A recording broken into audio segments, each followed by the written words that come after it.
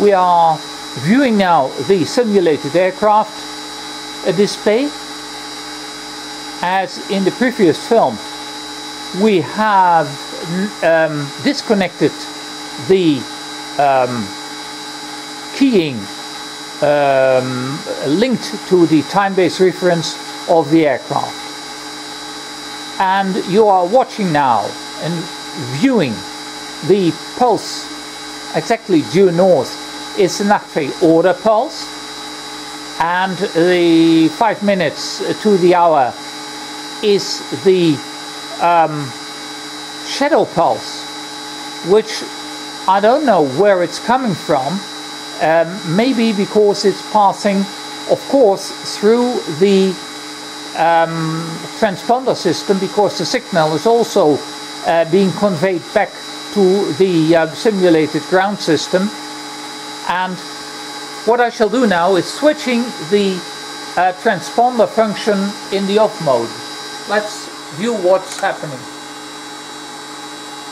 In fact the reflection is still there so the second pulse which is uh, less bright is originating from the incoming signal because the outcoming signal is uh, being interrupted.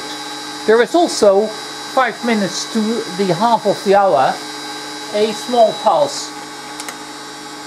This pulse is also uh, existing. Why? I can't say. Um, it is not um, due to the fact that the um, transmitter uh, signal is being picked up in the receiver because uh, that was uh, for this experiment not the case. And but you see the um, the Nachtfee order uh, signal is quite stable at the moment.